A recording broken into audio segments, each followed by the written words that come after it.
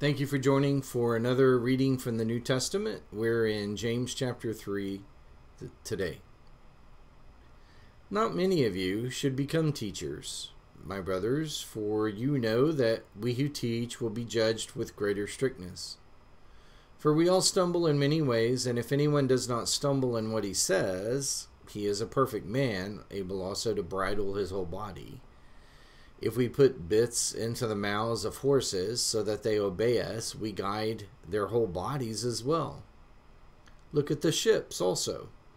Though they are so large and are driven by strong winds, they are guided by a very small rudder wherever the will of the pilot directs. So also the tongue is a small member, yet it boasts of great things. See how great a forest is set ablaze by such a small fire. And the tongue is a fire, a world of unrighteousness. The tongue is set among our members, staining the whole body, setting on fire the entire course of life, and set on fire by hell. For every kind of beast and bird, of reptile and sea creature can be tamed and has been tamed by mankind, but no human can tame the tongue. It is a restless evil, full of deadly poison. with it we bless our Lord and Father, and with it we curse people who are made in the likeness of God. From the same mouth come blessing and cursing, my brothers. These things ought not to be so.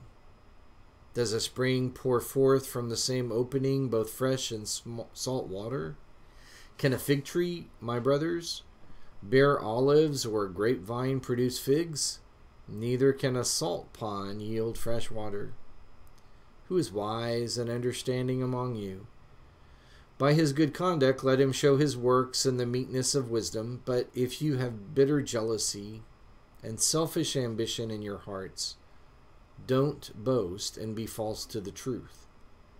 This is not wisdom that comes down from above, but is earthly and spiritual, demonic.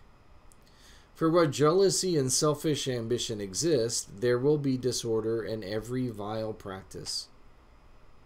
But the wisdom from above is first pure, then peaceable, gentle, open to reason, full of mercy and good fruits, impartial and sincere. And a harvest of righteousness is sown in peace by those who make peace.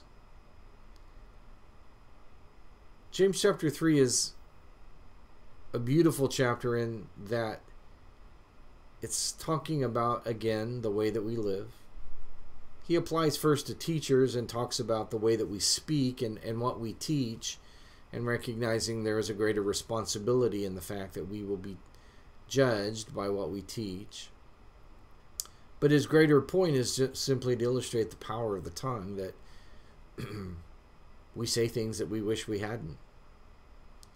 And so he wants us to be warned and be concerned that neither a salt pond can, just like a salt pond can't yield fresh water, your mouth should not bear from it the things, even this is particularly important to me cursing your brother who are made in the likeness of God. And what's interesting is that James doesn't say brother, yet that's how we often talk about it. He says people. Because everyone created in the image of God deserves our respect. And the manner in which we speak manifests that respect. And then he says, with last exhortation, that the wisdom from above is what will guide us through to a a gentle and peaceable, reasonable, full of mercy and good fruits or behaviors, and it will be a harvest of righteousness. So today, let me encourage you pursue that harvest of righteousness in your life. Practice what you know God wants in your life. Reflect it in the way that you treat other people, because to God that matters. Join me again on the next day for another reading from the New Testament, making your weekdays strong days with the Word.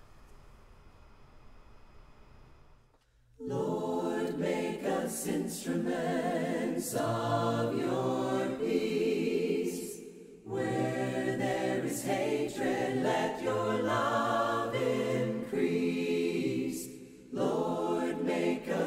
instruments of your peace.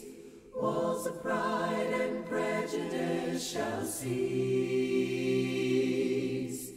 when we are your instruments of peace.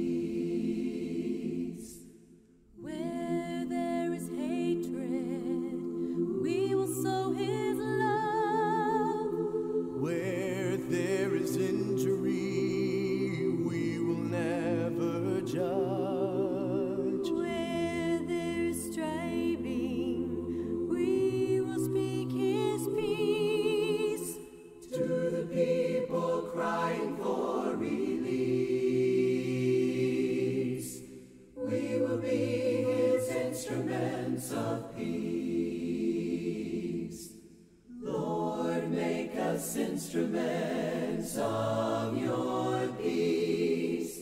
Where there is hatred, let your love increase. Lord, make us instruments of your peace. Walls of pride and prejudice shall cease when we are your instruments of peace.